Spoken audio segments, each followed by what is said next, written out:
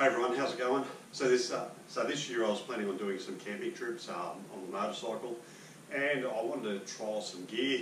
Um, first, I bought a swag. Um, it was quite comfy when I laid it out. It was all good, but um, to fit it on the bike was just a touch too wide. Um, it was just way too wide. So I don't really have um, panniers on, on the Grisso. It's just a, um, a rack.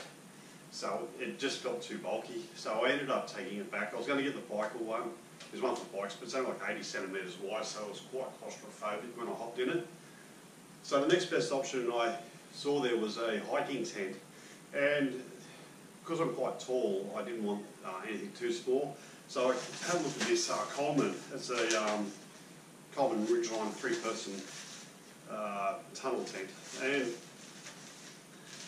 thought I'd, why not give it a go. So I went away camping with my daughter, so having the, having extra space um, was quite important. Um, this held up quite well, it was easy to put together, um, took about 10 minutes to put up.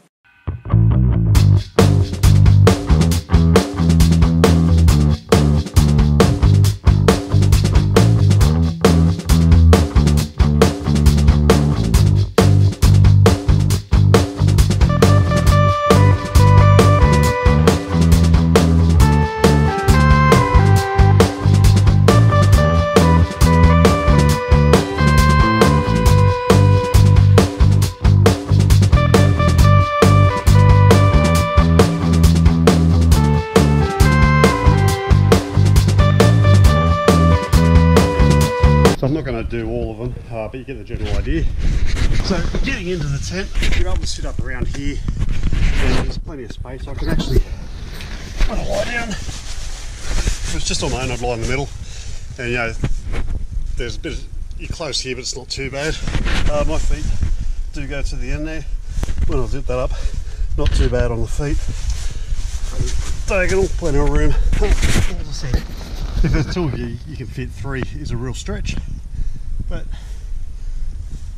if I actually tied it up a bit better, you have more room. Uh, the stitching, there's plenty of side pockets all through. Um, yeah, just warnings, don't get it, don't put it near too close to a fire. There's plenty of place you can store things. Um, you know, hook a, a light up at the top there and all that. Um, but yeah, I'm, I'm fairly tall, so you can't. For normal heighted people, this this is more than enough. It will get me through uh, what I need it for. Uh, the outer cover is um, it's quite thin, but it does the job. I I have managed to damage it though. Um, I put my finger finger through it just there when I was um, pulling it down. There is a patch kit, so I'll just put it that over it.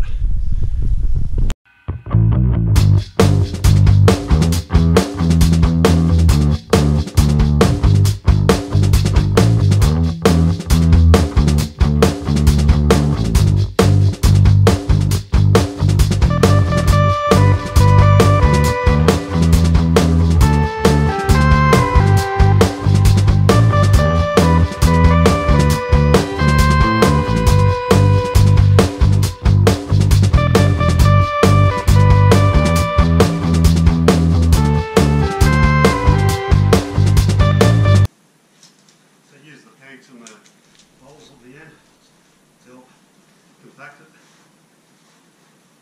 Interesting.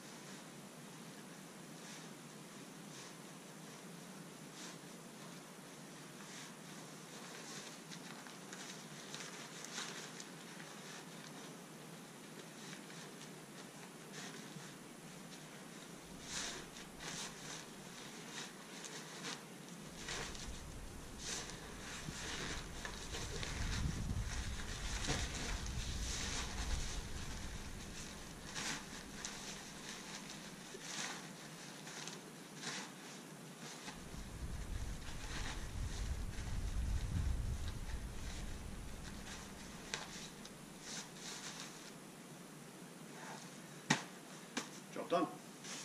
So the Coleman Ridgeline um, three-person tent, it retails for about two twenty-nine. Um, don't pay full retail, so you're better off waiting till um, a place like BCF have a special and you can pick them up from about one sixty-nine. It's still quite expensive compared to some of the three-person tents out there, but if you're after something a bit more compact, um, I've seen lighter, cheaper three-person tents, but they're a touch too wide. But this one compacts down quite nicely enough to, as I said earlier, fits in the bag. So I'll be able to take that away with me when I'm going to a rally, going away to um, Phillip Island, and it only takes up about a quarter of the bag space, which will do. Um, so improvements you can do this bag, as I said, I'd get a ground sheet. Um, you've seen from my picture, I also put a top sheet over it if I'm camping there for a few days. Definitely a, a cheap uh, uh, tarp, a blue tarp ground sheet. They're about 10 bucks and they will do the job. They compact down far enough and they'll fit in the bag. That's then the other item would be a, um, a dry bag, It's the same dimensions as this. That way, if you tear the um, its um, carry bag, at least you can um, still store it. And it, as I said, this is quite soft, so it, it is prone to damage. Um, the stitching, um, I don't think will last um, if you're using it regularly enough. So definitely uh, look at a dry bag of the same dimensions. Uh, would I get it again? Absolutely, um, yeah, but I'll give this a few more uses. I'm planning on a couple of um, motorcycle rallies, MotoGP, and um, I'll be camping all the way down to MotoGP, so I'll be able to give you an update on what it was like. Anyway, thanks very much for watching, and I'll see you on the next vid.